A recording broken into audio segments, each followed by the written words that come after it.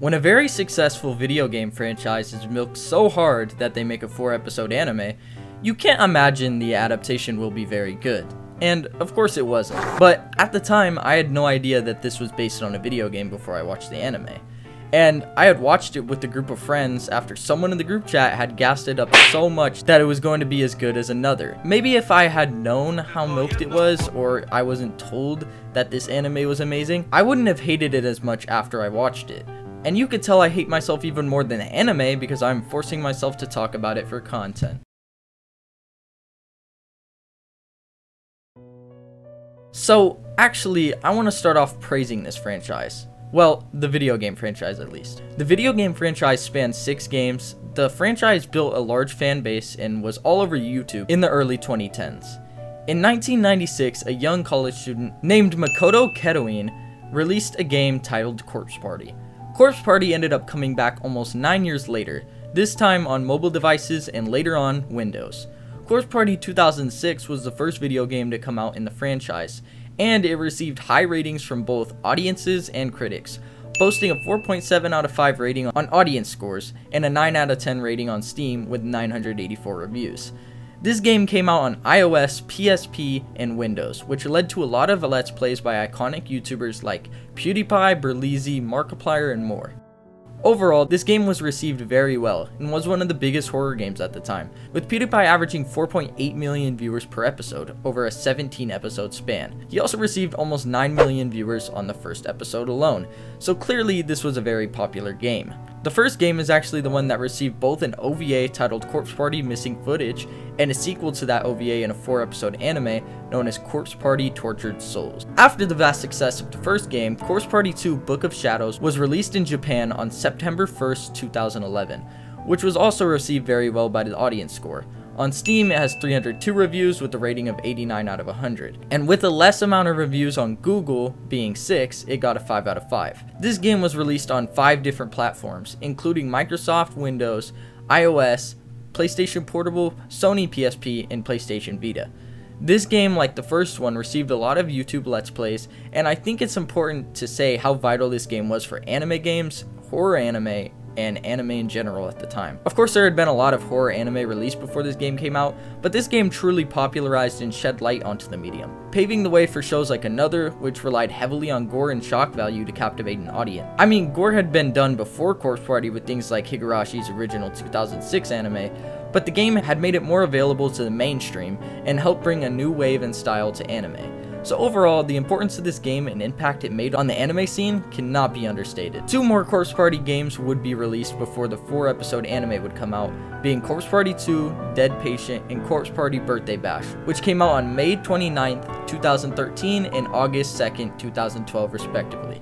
Corpse Party Birthday Bash was released on PSP and Windows, being a visual novel which took the horror and bloodthirsty nature of the games into a more lighthearted fashion. The main villain of most of the Corpse Party games is a vengeful spirit named Sachiko, who was murdered in a school that is the setting of most of the games. This is a spin on her character, and she is definitely still evil and bloodthirsty, but the story is more humorous and about her wanting to celebrate her birthday more than anything else. She brings the previous survivors of the other games and makes them compete in a race, and the winner gets to leave the school.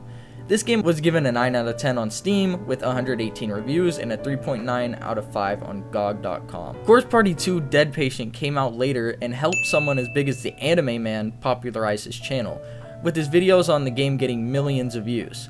The game was first released in Japan, so the YouTubers who could understand Japanese could post walkthroughs of the game while translating it to the audience who couldn't speak English. It was a big turning point for the anime and for YouTube in general, as the fanbase of Corpse Party was huge and allowed more people to make a name for themselves on this platform. Joey's talked about playing games that came out early in Japanese and the fact that they helped him grow his channel, since not a lot of people could post content on the game as they couldn't understand the language.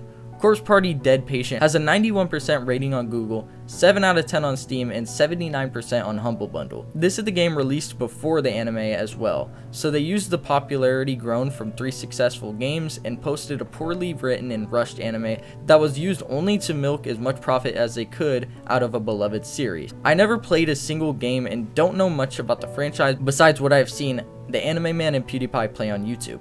Before this video and the research I did, I didn't even know how big the fanbase actually was. This disheartens me even more because the anime had so much potential if they could just flesh out the aspects of the game that made the fandom love it in the first place. Now, I'm done discussing the games as there are no more games that came out before the anime series had been made, but just know that remakes were made and in 2014 Corpse Party Blood Drive had come out. There was also a manga series created because of the games later on down the line which sell very high on Amazon. Like, goddamn! Let's get to the worst anime I've ever seen. Corpse Party Tortured Souls. The people who I had watched it with had hyped it up as, I kid you not, a 9 if not 10 out of 10 anime. I believe they actually gave the anime a 9 out of 10, so to say I was pretty happy to see it would be an understatement, especially because at the time I really got into horror anime after seeing another for the first time. So I had finished episode 1 which felt like 2 hours of anime even though I had only watched 30 minutes of anime. But I was fine with writing it off as a show with a slow start and hoping that there was just more to come. Episode 1 was poorly paced, poorly written, and genuinely just felt rushed, even though I didn't even know of the game's existences at the time. And looking back at it now, it was paced so poorly because they were only done with about a 50th of the game by the end of episode 1, when they should have been done with at least a fourth of the game. Episodes 2 and 3 followed suit, being boring, poorly paced, and genuinely the most dreadful experience I had watching anime. It was edgy for the sake of being edgy, gory in a bad way, which ruined the game's excellent use of gore, and overall, the atmosphere of the anime was just pathetic and somehow, even though it was life or death, the stakes felt very, very low. However, this was nothing in comparison to episode 4, which had quite possibly the worst ending I have ever seen in an anime. And yes, I know it was based on the game, but the ending was rushed and the development of the villain just happened completely out of nowhere, as well as the solution to get out of the high school. Another bad anime I've seen is called Midori, which is written very badly except for the ending.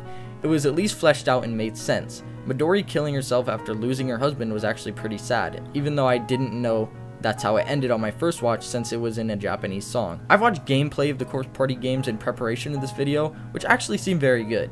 And I genuinely felt sorry for the fan base. The fandom is so diehard and loving of this franchise, only to be taken advantage of for loving something too much. Instead of just leaving the very successful video games as just video games, they wanted to money grab and make something terrible and lazy out of a well-made video game series. Sounds like uh, an anime known as Naruto.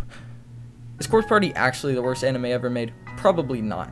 I'm sure there are a lot worse anime out there, and I mean, at least Corpse Party has decent animation, but I thought it was the worst anime I had ever seen even before doing the research, and after the research, I actually dislike it even more than I did before. Anyway, thank you for watching. If you would like another video like this where I do a lot of research and go through old video games or old adaptations of anime, please get this video to 50 likes. Thank you again, have a great day.